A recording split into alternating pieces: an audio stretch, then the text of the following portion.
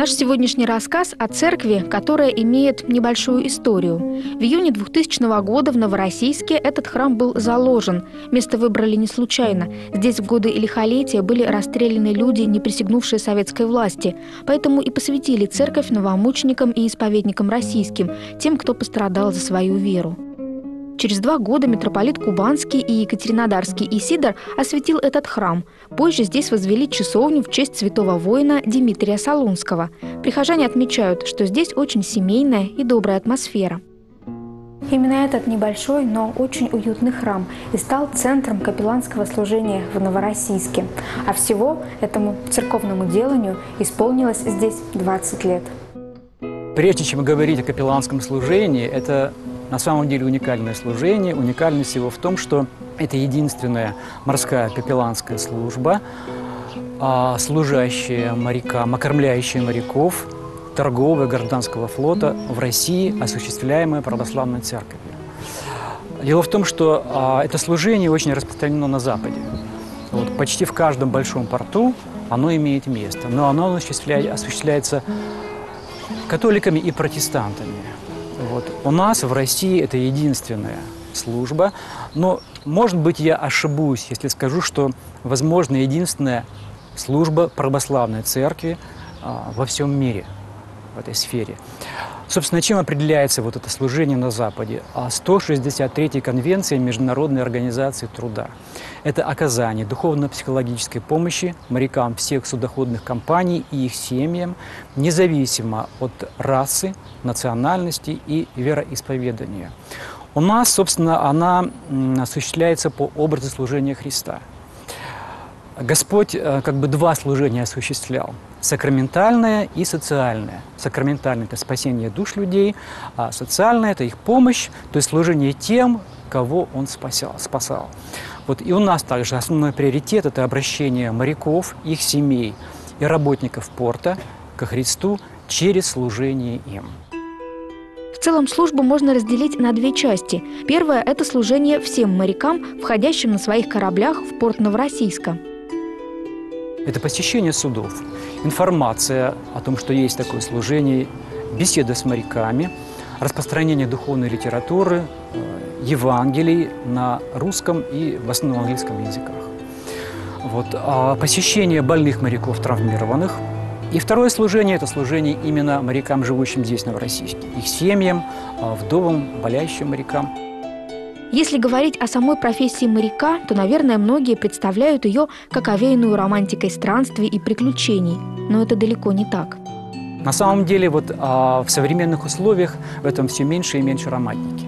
Потому что это одна из самых сложных, самых трудных профессий. В чем, собственно, трудности? Вот, а контракт моряка состоит, ну, примерно длится 6-8 месяцев. То есть это отдаленность от родных, от близких, от семьи. Это изолированное существование. Иногда э, переход из порта в порт длится около месяца. А бывает так, что в некоторых странах морякам запрещено сходить на берег. Вот. Это разрушенные семьи, это измена. И отсюда, конечно же, алкоголизм, а высокий процент суицида. Вот. Э, и страдают, конечно же, дети. Одна из проблем – это пиратство и недостойное поведение судовладельцев. То есть моряков бросают на произвол судьбы, им не платят зарплату. Вот. И чаще бывает так, что, заходя в порт, арестовывается пароход, и моряк вынужден находиться, пока пароход не продастся, и ну, он не получит свои деньги. Вот сейчас у нас в данный момент в Новороссийске находится а, пароход «Роксолана-2». А, моряки ожидают продажи этого парохода четвертый год. Ситуация трагическая, потому что за этот период их было 12 человек.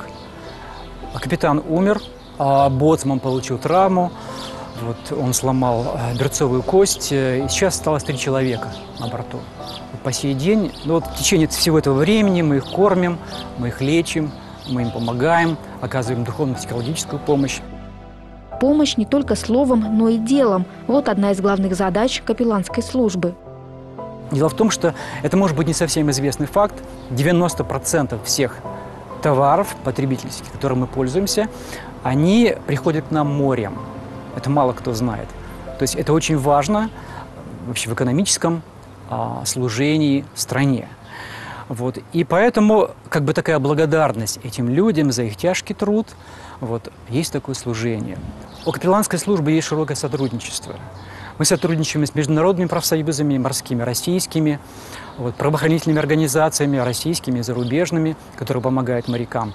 Ну, в данном случае в Новороссийске морской культурный центр международный, где у нас есть своя комната, где работает психолог. Психолог работает с семьями моряков, в основном разрешая проблемы ну, семейного характера.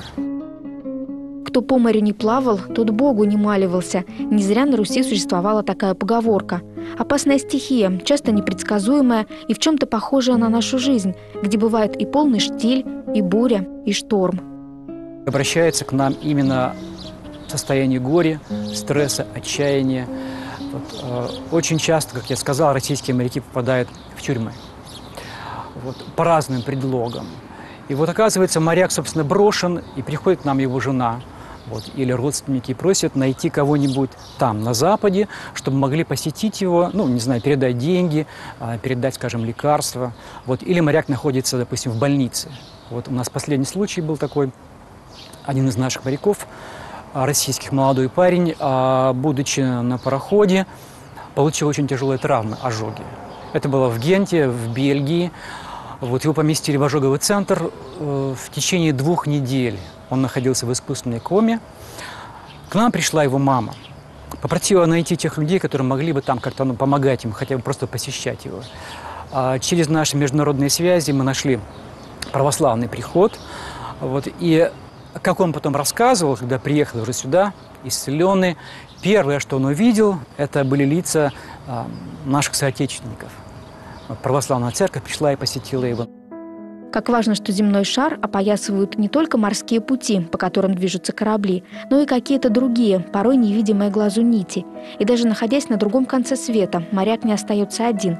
Его как будто бы все время держит за руку, вот здесь, в этом небольшом новороссийском храме. Другой пример, допустим, приходит к нам наша прихожанка, потому что в Российске очень много семей моряков. Ей звонил муж – буквально вот там два дня накануне. Говорю, что у него э, приступ аппендицита, его везут в госпиталь. Это было в Нигерии, в Лагосе. Э, ну, страшная страна на самом деле.